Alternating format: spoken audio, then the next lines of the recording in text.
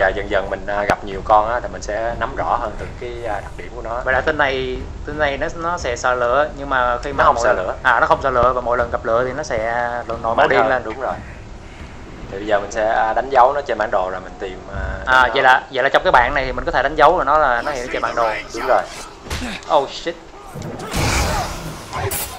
Một cái cái skill này là làm cho nó stun rồi. Wow mình muốn làm cho nó stun thì mình sử dụng cái skill nút gì tròn. Skill này là mình à, đầu đầu game do là mình được à, unlock cái skill này rồi. À. thì à, skill này rất là có lợi khi mình gặp à, số lượng đông của lính. Thì nếu chiêu này mình kết hợp với lại cái à, chiêu à, execution này á thì à, một hồi mình gặp số lượng à, lính thì mình sẽ đánh thử cho các bạn xem. Ok bây giờ Vinh vừa mới unlock thêm một cái à, skill chạy nhanh nữa. Nhanh. thì à, với cái skill này á, thì tất cả những cái thằng nào mà có có ý định bỏ chạy á, thì mình sẽ đuổi kịp nó trong vòng chớp mắt thôi. Hoặc là những cái tên bò chạy vẫn thể dùng cung rồi bắn như chân đó. Thì hôm nay uh, bi không là không phải là người chơi mà là vinh. Vinh sẽ chơi thay thế bi. Cái điểm này cái khu vực cái điểm này là cái gì ạ đây là điểm để nhận nhiệm vụ thì À. khi mà tới làm những nhiệm vụ chính hoặc là những side quest á thì mình sẽ có những cái điểm trên bản đồ mình tới đây mình À. à. nhấn nút uh, R1 để mình kích hoạt nó ok mình chọn rồi thì giờ mình cái nhiệm vụ đầu tiên của game Oh Well, this doesn't bode well. Don't you see? The prisoner created a distraction. Tên app này nó nói ờ, nhân vật chính đó là lợi dụng những cái ờ, tên tù nhân này để ờ, phân tán sự chú ý của những tên ọt khác.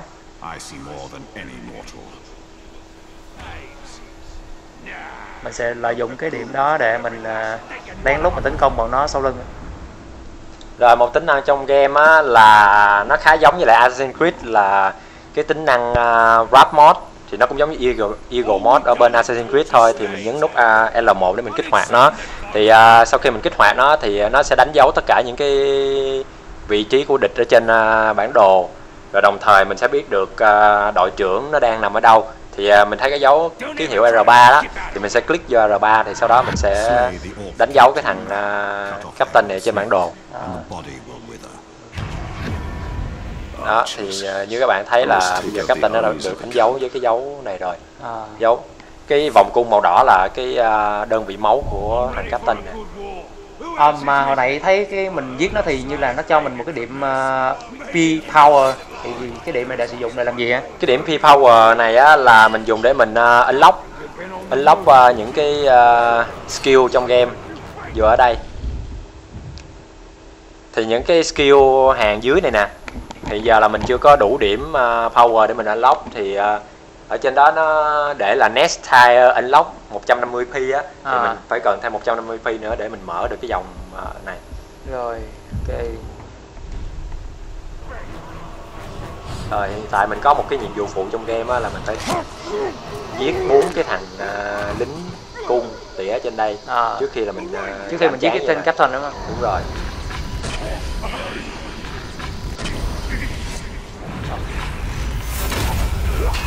wow bắn cung. Tên này rất là yếu bắn một chút xíu là là chết rồi. Ủa cái cung cái cung này là mình phải lụm đây là mình sử dụng á? Hay là cái nhiệm vụ của nó là như vậy? Bắt buộc phải lụm cái cung. À, cung mình có hai cách tại vì cái cung này là cung giống như cung của tộc F. Thì à, nó không phải là cung thường. Cái này nó dùng à, sức mạnh à, bóng tối để nó sử dụng.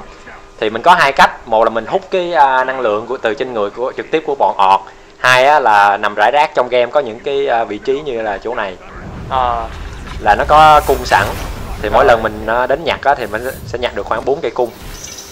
Rồi ok bị hiểu rồi. Giờ mình sẽ làm cái cách thứ hai thu thập cung cho các bạn thấy. Mình đến gần xong mình giữ im nút tròn. Ờ, đó thì sau khi đầy cái thanh đó thì mình sẽ thu thập được đầy thanh cung của mình rồi Ờ. thì à, mình vừa mới hoàn thành xong cái nhiệm vụ phụ của game là tiêu diệt bốn cái à, tên lính cung. Bây giờ mình sẽ trực tiếp đụng với lại con tướng chính này. Mình tấn công từ trên cao xuống.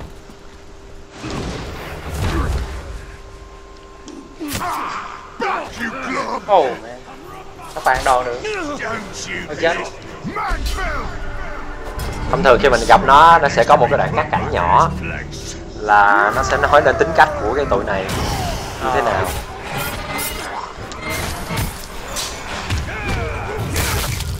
Wow.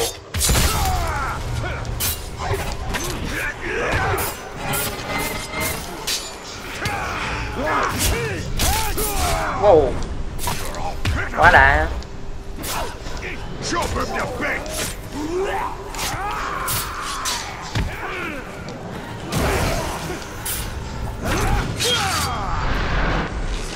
cái đoạn execution rất là tuyệt vời.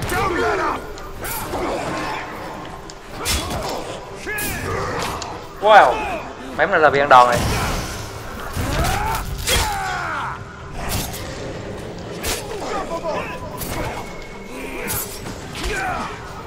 Ây,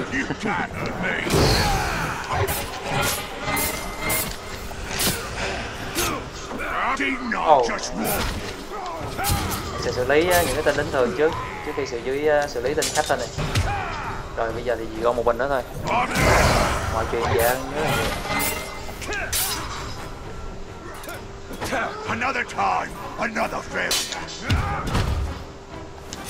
rồi lần này chắc chắn là nó sẽ chết. Xong.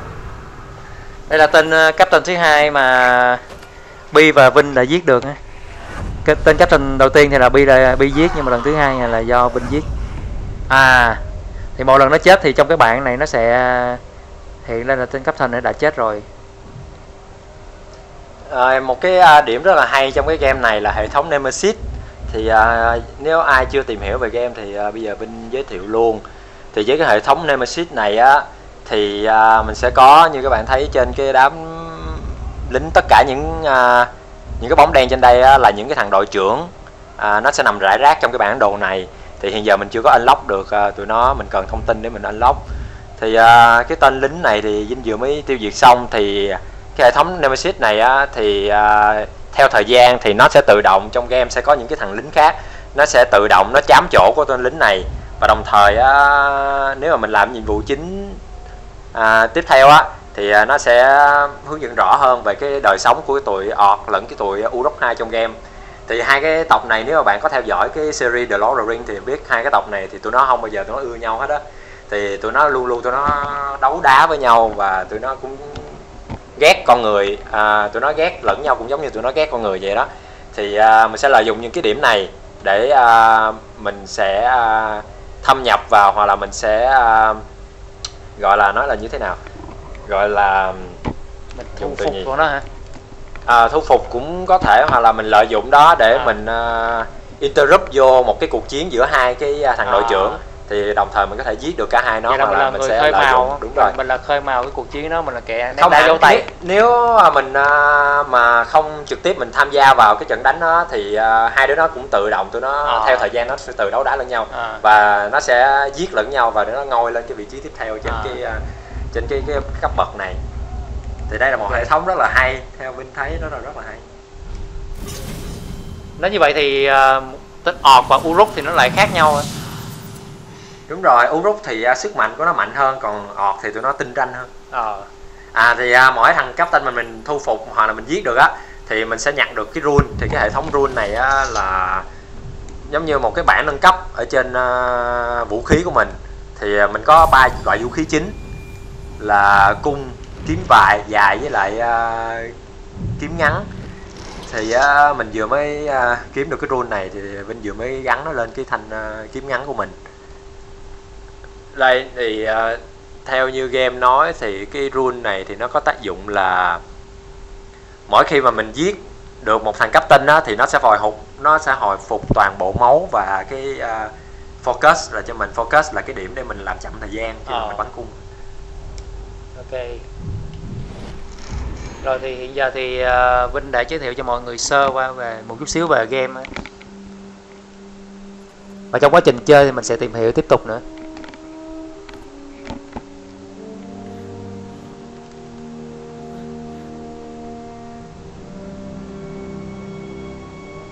So you didn't die 10 years ago. I take it you did not come here to arrest me for treason. Captain? Vậy là nhân vật chính của mình là một cái người đội trưởng. Hình như là trông coi tường thành bên hả đúng rồi.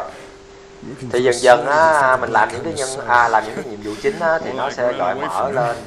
À, cái quá khứ của à, thằng đội trưởng này. đồng thời là mình sẽ biết được cái à, à, danh tính của cái linh hồn mà đi theo với mình suốt từ đầu game tới giờ This is no time to keep secrets.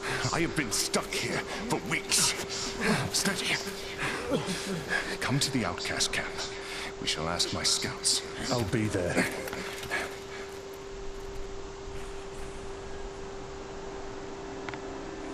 ồ oh, tên Golem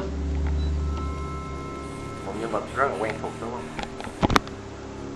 It's just another orc. No. Someone who wants to be seen. Ờ, vậy cái tên Golem này trong nó cái vai trò nó trong game này nó có gì đặc biệt không hay chỉ là một cái nhân vật khách mời thôi hả? À, thì cái thời điểm à, mà theo như nhà sản xuất nói thì cái game này là nó nằm ở à, giữa thời điểm The Hobbit và The Lord of the Rings diễn ra. Thì à, theo như Vinh Vinh từng Vinh đã chơi qua một phần trong cái game này rồi thì à, cái nhân vật Gollum này á, là nó là cái nhân vật liên kết là để mình biết rõ hơn về cái quá khứ của nhân vật uh, rap mà mà đến cái nhân vật hồn ma mà đi theo mình từ đầu phim Ờ. à, từ đầu game đến giờ á.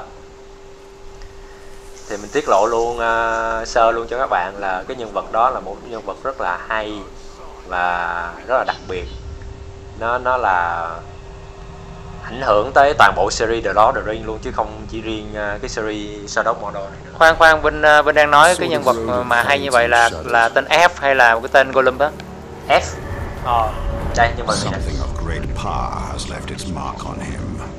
I sense it. And you feel he has answers? For both of us. We should find them then. It shouldn't be too difficult. ủa vậy là tên F này nó đang nói à, nó đang nói gì Vinh hả? Nó đang À, nó cảm nhận được là thằng Golem này muốn dẫn nó đi đến một cái chỗ nào đó. Thì human. tại vì bản thân cái linh hồn này nó cũng không nhớ rõ về quá khứ của nó lắm. Nó cũng giống như ờ, mình nó có có những cái ký ức là nó nằm rải rác như vậy đó. Thì ờ, bây giờ mình là hồi nãy mình vừa mới kích hoạt cái ờ, nhiệm vụ thứ hai là nhiệm vụ theo dõi cái con golem đó. Thì ờ, mình có cái nhiệm vụ phụ là là giải thoát cho mấy cái thằng ờ, tù nhân hả ờ, tù nhân ở đây nè